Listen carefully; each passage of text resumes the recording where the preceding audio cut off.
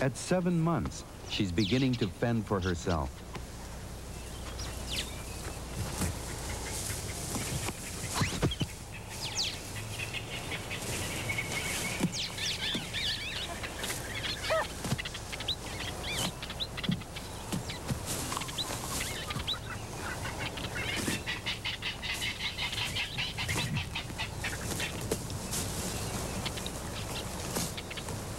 By now, her rank is recognized, and even when she's on her own, high-ranking females acknowledge her. Soon she'll realize she shares their privileges. Later on, she'll learn how to manipulate this to her advantage. In the meantime, life has become less predictable.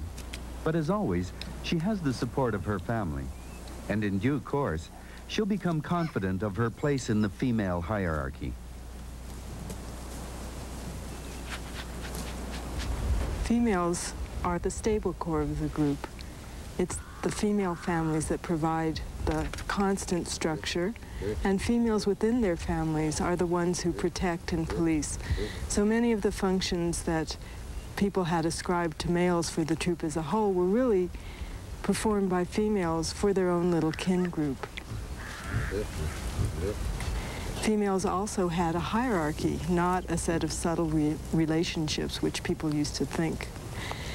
And it was this hierarchy, this ordering of families, one family above another, that provided the predictability and the structure of the group.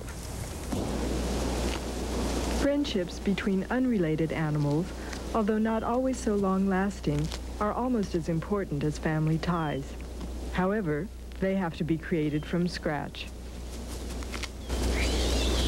Friendships between females can start in several ways. Some have their beginnings when the animals are young playmates. More commonly, it's the attraction of infants to each other that brings their mothers together.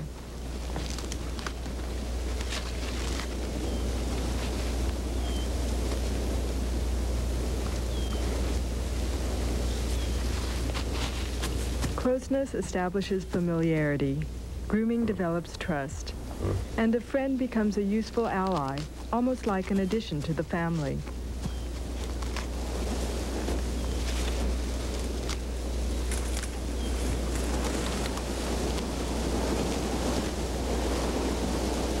Pinocchio, a young adult male, has befriended the infant Quixote.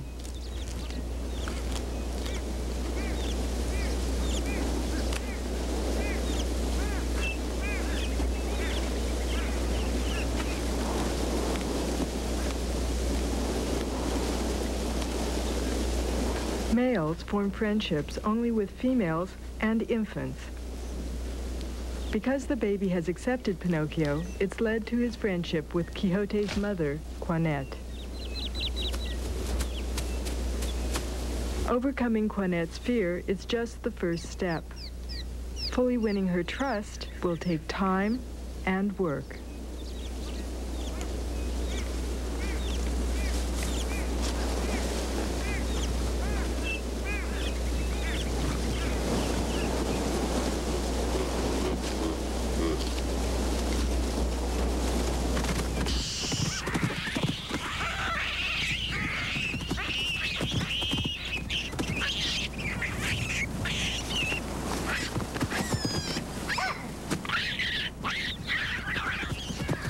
Aggression by males against females is rare, but when it happens, it makes a lasting impression. And females have every reason to be cautious when an unfamiliar male approaches. Even a baby like Quixote senses the tension and potential danger and makes a beeline for home.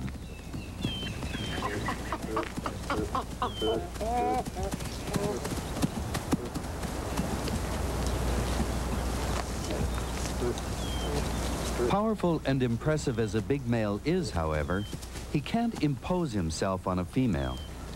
This male wants to be groomed, but he's not a friend, and despite her low rank and smaller size, Quinette declines.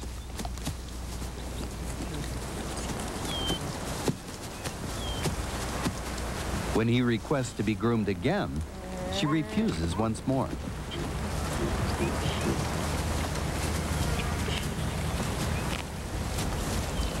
This time, he simply accepts her decision. Using force wouldn't help, though a bit more finesse might change her mind. If weaning was paradise lost, grooming has to be paradise regained. I had realized by now that the existence of what really had to be called friendships was important.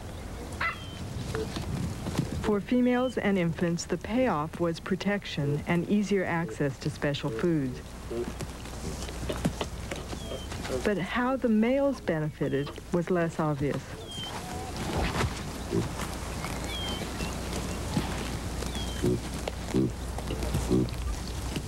This question crossed my mind as I watched an adult male, Berlioz, give his friend Sandy a ride. This is a bit unusual, though in many other ways males become substitute mothers for infant friends, especially when they're being weaned. It's great for the infants, of course, but what could be the payoff for Berlioz?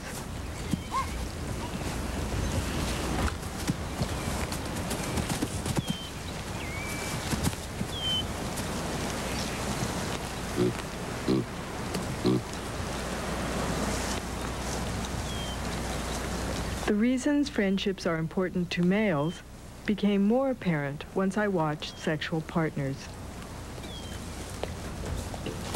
The social circle, uh, the tight affiliation, is broken by the tensions created by sexual activity.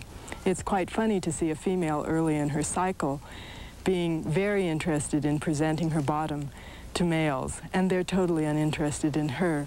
It's because attraction and attractiveness um, and receptivity are controlled by two different ho hormones. So a female becomes interested in sexual behavior before she becomes attractive to males. Then when she is attractive mid-cycle, uh, she changes her behaviors. The males are very interested and she starts to be a bit more choosy. Dulcinea is in mid-cycle, both receptive and attractive to males. Haeckel, her companion, is young and inexperienced. If they were already friends, she would trust him and it would be easier for him to become her sexual partner. But since they're not, his courtship will take a great deal of effort and may last for several days. Another male, Jekyll, watches them from a distance. Sexual pairs are called consorts and are often followed by other interested males. Haeckel continues to groom Dulcinea, but he hasn't won her over.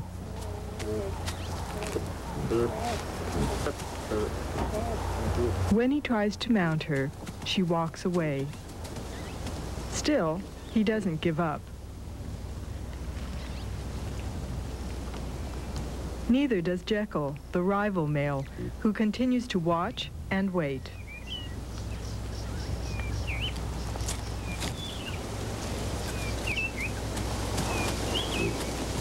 Dulcinea seems to find Jekyll attractive and moves towards him.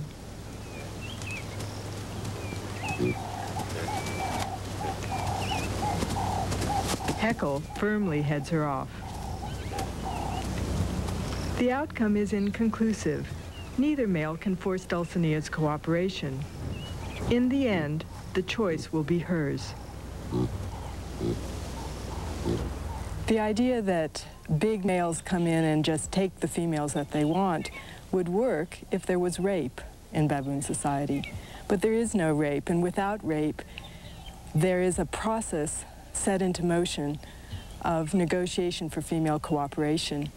That cooperation can be won before a consort through the creation of friendships so that females come to trust and have a reciprocal relationship with the male and cooperate with him during consorts.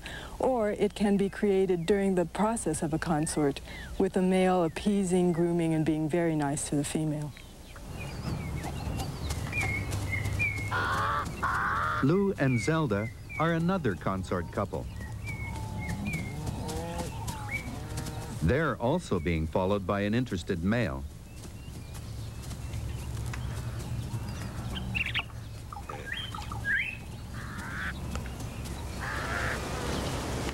Like Dulcinea and Haeckel, Zelda and Lou are not friends. But Lou is more experienced than Haeckel. When he approaches Zelda, he smacks his lips. Zelda is reassured by this and allows herself to be groomed. But at this stage, the follower still has a chance. Just the fact that he's there may be enough to make Lou lose his nerve. Or he could provoke a confrontation with Lou, even interrupt a copulation.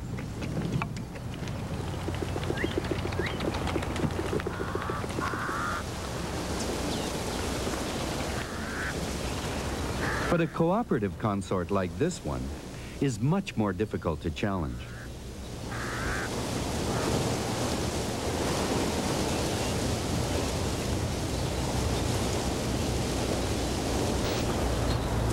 For the rival, it calls for patience. In spite of its importance, sexual behavior occupies very little of a baboon's life. Even a copulation doesn't last long, and its success is influenced by the animal's social relationships. It's these that take time and energy.